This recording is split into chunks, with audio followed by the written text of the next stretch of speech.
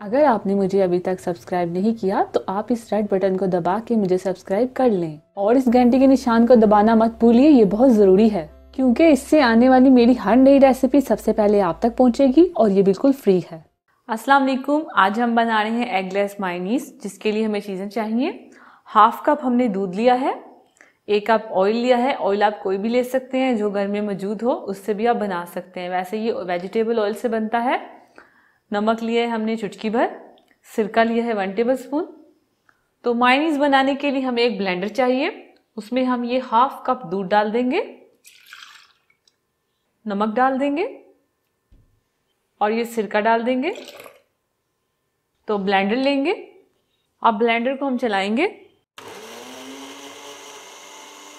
कुछ टाइम के लिए हमने ब्लेंडर को चलाया, अब इसमें थोड़ा थोड़ा करके ऑयल डालेंगे और इससे चलाते जाएँगे. तो ऊपर वाले कवर को उठा लें और इसमें ऑयल डालते जाएँ और इसे चलाते जाएँ।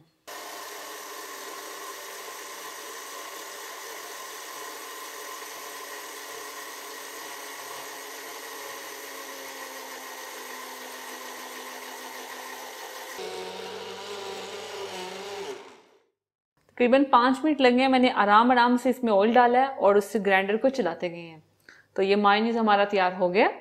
एकदम से ऑयल को हम साथ नहीं डाल देंगे थोड़ा थोड़ा करके डालते जाएँगे और ग्राइंडर को चलाते जाएँगे और हमारा अच्छा सा मायनीस तैयार हो जाएगा। तकरीबन पाँच मिनट लगे हैं हमारे ग्राइंडर को चलते हुए और हमें ऑयल डालते हुए। तो ये हमारा तैयार हो गया। तो इसको निकाल लेंगे। ये आप देखें कितना अच्छा बना है।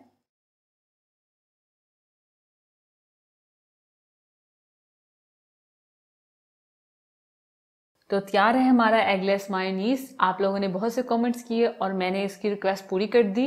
यकीनन आपको अच्छा लगा होगा और मेरी वीडियो को लाइक कीजिए, उसे शेयर कीजिए और मेरे चैनल को सब्सक्राइब कीजिए। अल्लाह हाफिज़। अगर आपने अभी तक हमारा यूट्यूब चैनल सब्सक्राइब नहीं किया तो आप इस बटन पर क्लिक करके हमें सब्सक्राइब कर सकते हैं।